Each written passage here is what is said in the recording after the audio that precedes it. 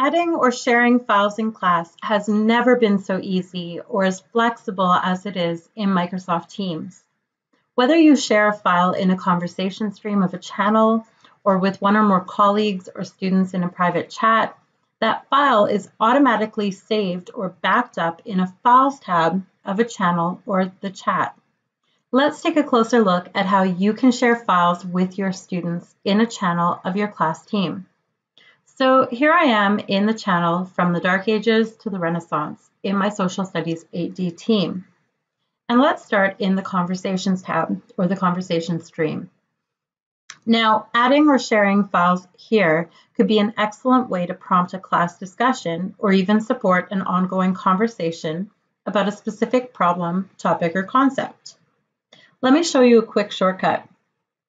If you are working on a PC or a Mac, you can easily add a file to your conversation stream by opening up your file manager and just dragging a file and dropping it here in the new message text box. As that file loads, remember that you can customize this post by adding a comment. You could even direct this post to an individual or a group of students by using at mentions. Let's just delete this file. You can also add a file to the conversation stream by clicking on the paperclip icon here below the new message text box. Notice when I click on that icon, I have a few options. I can select a file from my recent files. I can browse um, other teams for a file or other channels within this particular team. I can select a file from my OneDrive or I can upload a file directly from my computer. Let's go ahead and add a file from my OneDrive. So I'm going to click on the OneDrive link here. And I'll just look for that particular file that I wish to add. Once I've found the file, I just simply select it and click Upload a Copy.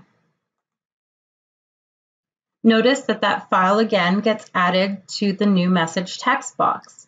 And again, I can customize this post by adding a comment.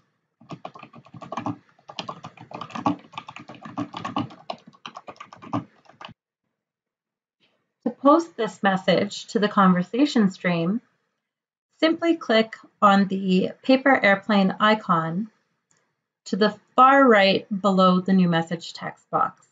Now keep in mind that any file shared here in the conversations tab in this particular channel is automatically saved or backed up in the files tab of this particular channel. So this Marco Polo file, if I click on the files tab, will be available there in the Files tab. Speaking of the Files tab, let's take a closer look inside at how we can add content here in a specific channel of our team. The first thing I would like you to notice inside the Files tab is that you can create new folders as well as documents. So I can create new folders inside this particular folder or channel in order to help organize my Files tab. I can also create new documents to share with my class, including Word, Excel, and PowerPoint documents. Let's create a new Word document.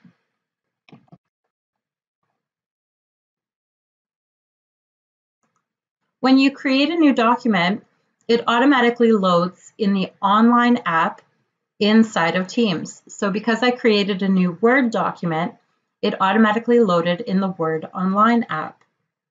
This means that I can work on a new file for my students without leaving the Teams app. Let's close this and go back to our Files tab. By clicking on the Upload icon, I can upload a file or multiple files from my computer, including my OneDrive,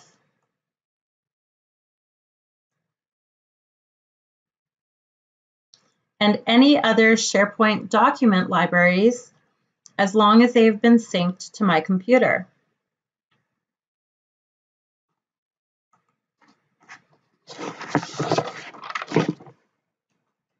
Let's talk about OneDrive for a minute. So here I am working in my OneDrive online. Even from here, I can actually share files to specific channels of my teams. So let's find a file that we wish to share. I'll select the file and in the top toolbar, I'm going to select copy to. I don't want to select move to because I don't want to actually remove the file from my OneDrive, but I essentially want to make a copy of it to my team. So I'll select copy to, and next I will select my team from the list below. If I don't see it in the list below, I can always browse sites, but I see it right here, Social Studies 8D. And I want to put it in Documents, and I'll select the channel that I wish to add it to. So in this case, I want to add it to the From Dark Ages to the Renaissance channel. And I'm just going to click Copy here.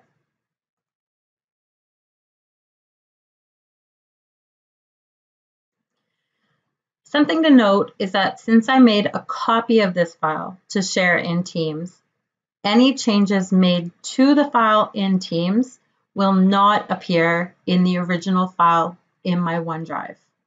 Let's go back to the Files tab in the From Dark Ages to Renaissance channel in my Social Studies 8D team. One more thing I want to show you is you can actually add folders from other cloud storage accounts. This is incredibly handy if you have a folder of files saved in Google Drive that you want to share with your students. So to add a folder from my Google Drive, I will click on the Add Cloud Storage link. I will select Google Drive.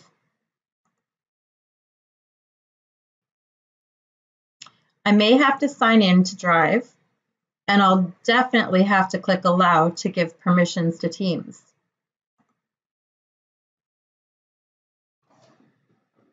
Now I can select a folder and click Add to add that particular folder to my team. Once that folder has been added, students can view and edit files in that folder. I can add new content to this folder and any and all changes that are made to files here in this folder in Teams will be updated in your Google Drive. Once you've connected your Google Drive to Teams in the Files tab, if we go back to the Conversations tab, in that same channel, when you click on the paperclip icon underneath the new message text box, Notice that you now have the option of attaching a file from a folder in your Google Drive.